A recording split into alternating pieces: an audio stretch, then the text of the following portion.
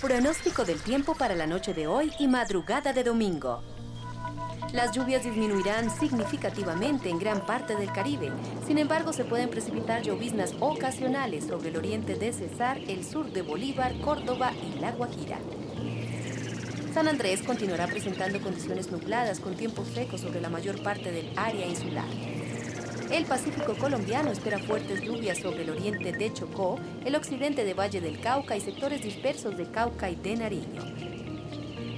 Hacia el centro del país se estima abundante nubosidad acompañada quizás por lluvias moderadas sobre Antioquia, Los Santanderes, Magdalena, Cundinamarca, Boyacá, Tolima y Huila.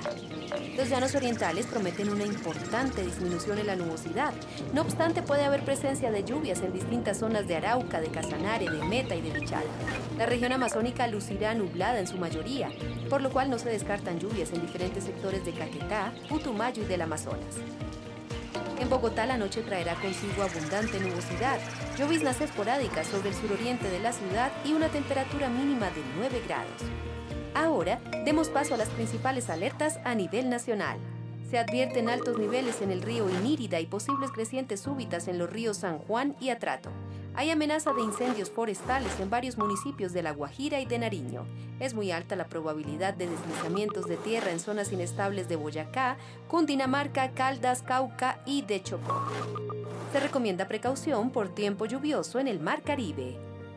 Manténgase bien informado y en tiempo real a través de nuestra aplicación Mi Pronóstico. Consulte los pronósticos del estado del tiempo, las imágenes satelitales y conozca las principales alertas tempranas. Información detallada a nivel municipal, cifras de deforestación, estadísticas de rayos y otros datos de interés. Descárguela gratis, planee su día y tome las mejores decisiones.